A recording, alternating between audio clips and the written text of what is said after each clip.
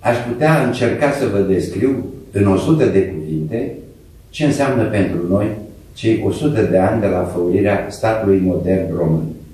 Însă este mult prea puțin. Marea Unire a fost actul sublim de voință națională românească. Nu este opera niciunui om politic, partid sau guvern, ea aparține națiunii.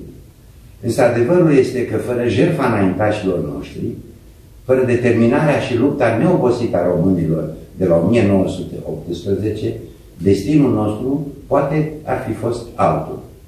Suntem aici, grație celor care au cunoscut momentul oportun și au știut să înlăture mentalitățile conflictuale și revanșarde, oferind un exemplu de toleranță și respect. Sunt valori pe care și astăzi le promovăm și le îmbrățișăm. Privim în urmă cu satisfacție, dar privim și la viitor cu multă încredere. La 100 de ani de la Marea Unire, România este un stat matur din punct de vedere istoric, un membru activ, credibil și respectat în structurile europene și euroatlantice.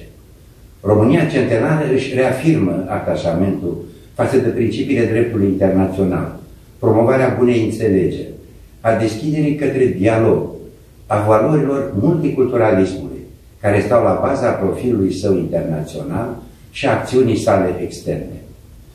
Marele nostru proiect politic a trecut testul timpului și cade în sarcina noastră să-l continuăm.